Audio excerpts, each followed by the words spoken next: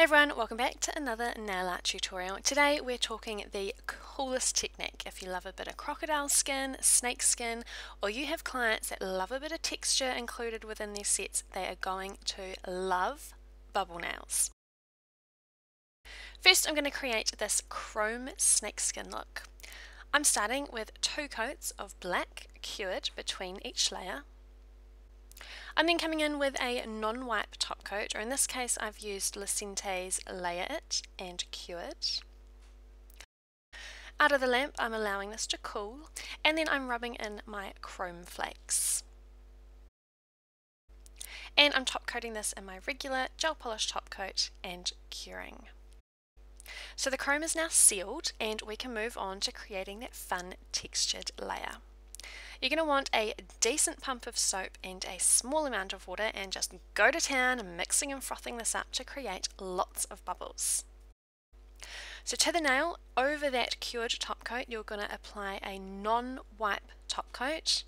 And while it's still wet, apply a decent layer of bubbles straight onto the wet top coat, making sure they entirely cover the nail, and pop this into the lamp, bubbles and all, for a normal cure. Out of the lamp, wipe away the bubbles and just look at the effect. How cool is that? Kudos to whoever worked this technique out. So this top coat technique leaves you with a rough textured surface finish. I'm going to show you the bubble effect now using the gel polish colour layers. I've applied two layers of a nude mauve colour, curing between each layer.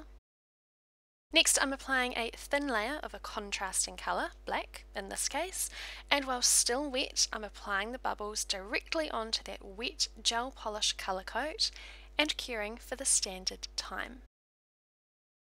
Out of the lamp you get the semi-textured bubbly surface appear in that contrasting colour. So I'm going to come in with a Gelish Structure Gel to smooth any divots and cure that and then applying a top coat to finish the nail.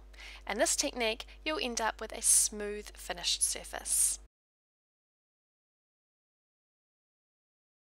So here's the two looks so far.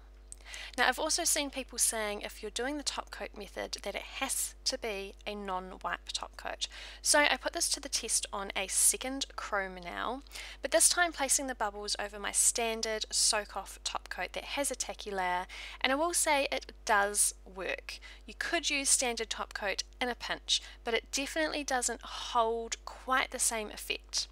My test one is the swatch stick here with the little cross on it and there's patches where the bubble design didn't quite seem to hold although I'm certain it was covered with bubbles at the time and the little divots that it creates haven't cured as deeply meaning that the effect isn't quite as dramatic.